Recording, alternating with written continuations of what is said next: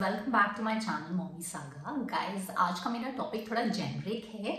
It is about you know how to make your children independent मैंने बहुत सारी moms को सुना है कि you know I really want कि मेरा बच्चा जल्दी से इंडिपेंडेंट हो जाए so that you know I can do this for myself so और probably I can do something apart from taking care of the child so guys ये सब मॉम्स के दिमाग में आती है बात. सो आई thought क्यों ना हम इस टॉपिक के बारे में आज बात करें. बताना चाहती हूँ कि यू you नो know, बच्चों को आप सिखा नहीं सकते इंडिपेंडेंट होना.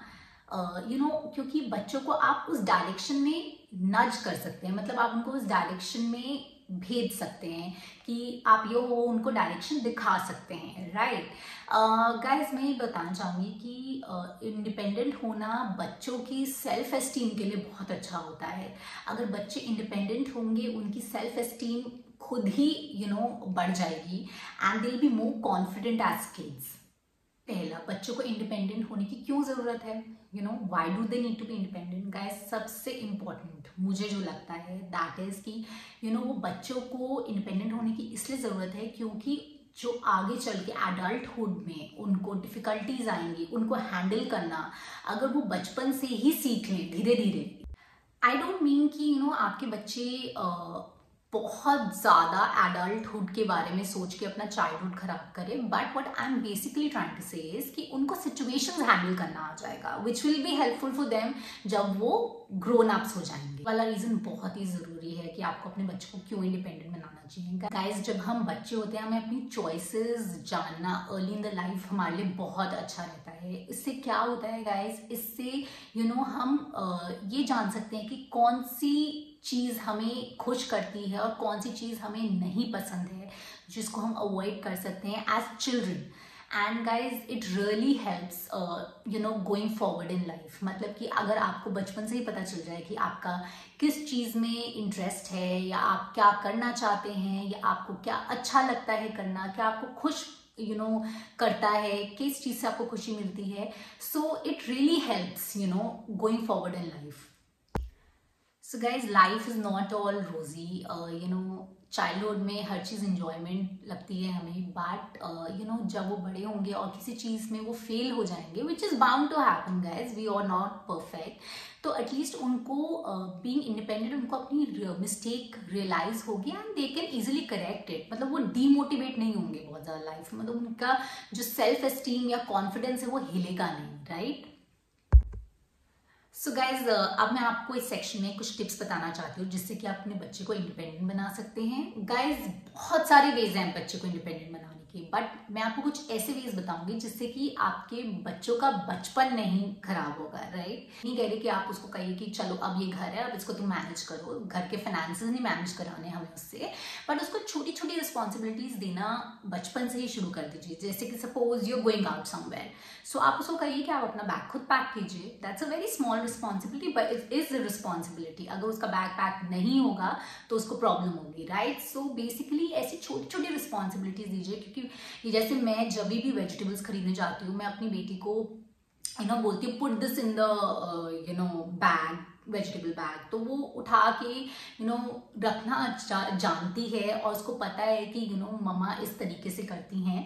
And guys it really you know gives a sense of confidence to kid कि उन्होंने कोई एक अच्छे से रिस्पॉन्सिबिलिटी निभाई।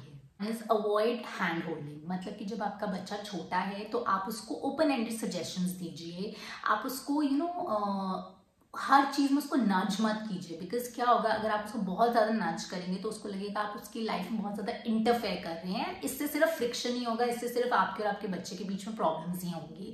सो गैस उसको हमेशा ओपन एंडेड सजेशन दीजिए। जैसे सपोज़ वो पूछता है कि मामा मुझे आज बाहर अपने फ्रेंड्स के साथ जाना है। तो टेल हिम हाँ तुम जा सकते हो। To are most welcome to go but just you know I think you should make sure कि तुम इस टाइम तक आ जाओ। मैं हेल्प के लिए उसको आपके पास आने दीजिए एंड बहुत ज़्यादा इंटरफेयर मत कीजिए बिकॉज़ इससे कुछ नहीं आउटकम आएगा। एंड यू नो मैं ये नहीं कह रही कि आप अपने बच्चे पे ध्यान ना दीजिए, उस पर चेक नहीं रखिए डेफिनेटली चेक रखिए बिकॉज़ बच्चों पे चेक रखना बहुत ज़रूरी है। बट मैं सिर्फ़ इतना कह रही हूँ कि आप उसको हर बात में मत टोकिए, नहीं तो बच्चा आपके पास कभी हेल्प के लिए नहीं आएगा। Okay guys another thing is आप अपने बच्चे को इंडिपेंडेंट कैसे बना सकते हैं? You know introduce choices to your kid मतलब सपोज़ आप एक रेस्टोरेंट में जा रहे हैं और आपने बच्चे को मेन्यू दे दिया, बताओ तुम्हें क्या खाना है. Don't do it like that you know limited choices दीजिए. सपोज़ आपने उसको पूछा कि आप रेस्टोरेंट गए, आपने उसे चार चीज़ें बता दी कि ये ये ये ये. तुम्हें इसमें से क्या खाना है? उसमें ही बच्चे को एक sense of you know making a choice आ जाता है और वो बड़ा खुश हो जाता है कि आज मैंने अपनी पसंद का कुछ खाया है।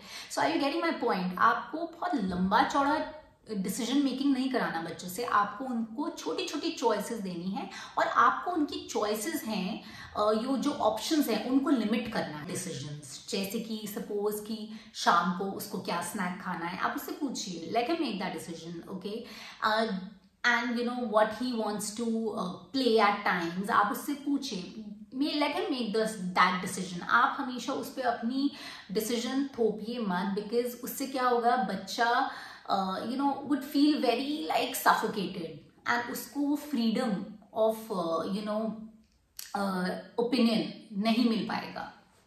The one is you need to have empathy with your child empathy का मतलब ये है कि अगर आपका बच्चा कोई चीज़ सिंपल चीज़ भी नहीं कर पाता यू you नो know, उसको आप 24 घंटे उसके पीछे मत पड़िए और डांटिए मत।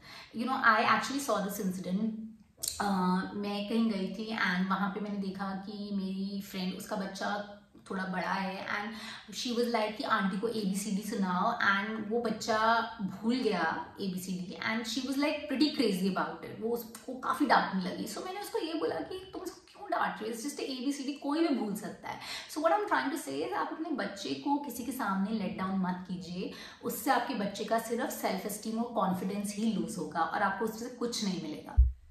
Guys don't make failures big issue मतलब मेरा कहने का मतलब है अगर आपका बच्चा किसी चीज़ में फेल होता है लाइफ में या किसी भी चीज़ में कुछ नहीं कर पाता तो आप उसको यू you नो know, इतना बड़ा इशू मत बनाइए। आप उसको कहिए कि इट्स ओके okay, आप इससे सीखिए और next time you know get up and next time उसको अच्छे से कीजिए।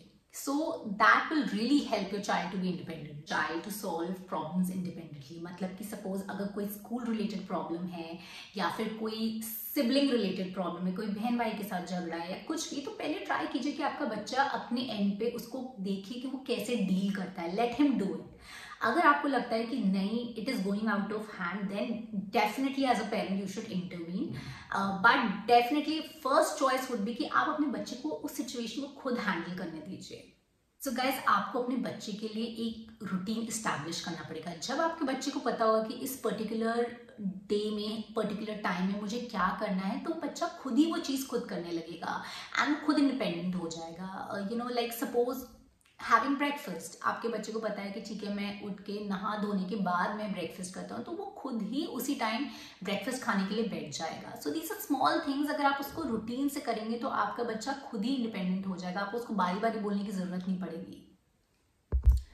Guys last but not the least don't forget to encourage him मतलब कि अगर आपका बच्चा कुछ अच्छा करता है, कुछ प्रेज वर्दी करता है प्लीज़ आप उसको इनकरेज कीजिए आप उसको बताइए कि आप कितने प्राउड हैं as a parent you know it's very important guys बच्चे को ये जानना उसके लिए बहुत बड़ी सेंस ऑफ़ अचीवमेंट होती है जब उसको पता चलता है कि उसके पेरेंट्स उसके बारे में बहुत ज़्यादा यू नो प्राउड हैं uh, एक अलग सा कॉन्फिडेंस आ जाता है बच्चों में. So I would say this is very very important so so guys आज के लिए बस इतना ही। अगली बारी हम फिर मिलेंगे किसी नए टॉपिक के साथ। And Mommy Saga signing off bye